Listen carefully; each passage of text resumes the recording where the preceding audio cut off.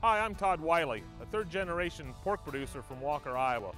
Welcome to our family farm.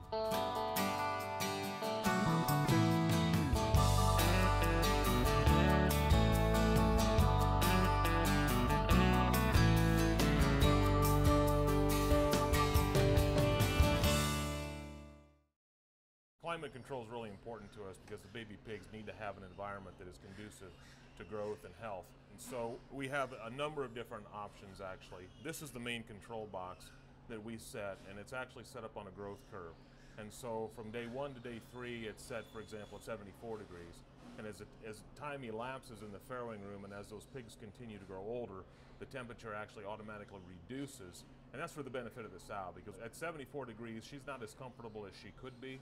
And so towards the end of lactation, she's uh, down in the 68 degree range where she's more comfortable, she'll consume more feed, uh, she milks better, it's better for the piglets.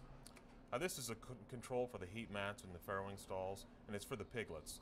So we'll start out with this control, keeping the heat mats 98, 99 degrees when the pigs are young.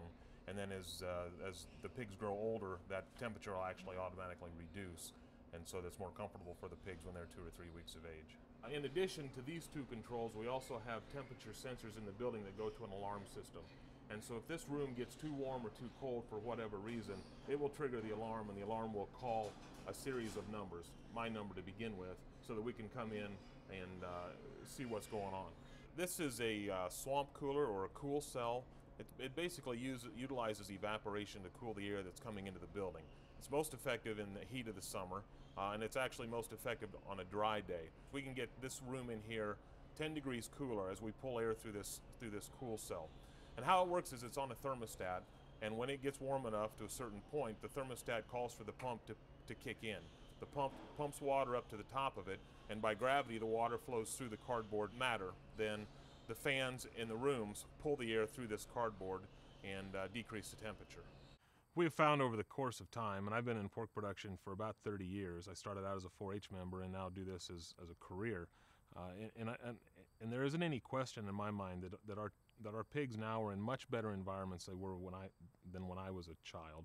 Uh, we used to have sows outside, and in the dead of winter in Iowa, it gets really cold. At 20 below zeros, that really po posed some challenges for our sows that were outside.